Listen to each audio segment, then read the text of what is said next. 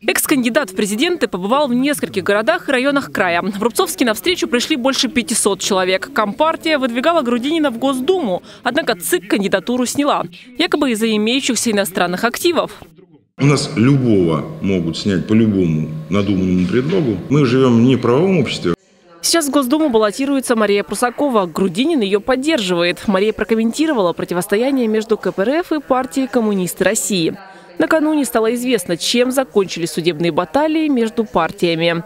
Так суд определил, что авторские права на музыкальную композицию в своем агитролике Прусакова не нарушила. После этого представитель кандидата от коммунистов России заявил об отзыве иска к Марии. Грудинин и Прусакова также отметили, что ощущают мощную поддержку избирателей. Что может помешать КПРФ набрать высокий процент голосов на выборах, по их мнению, низкая явка.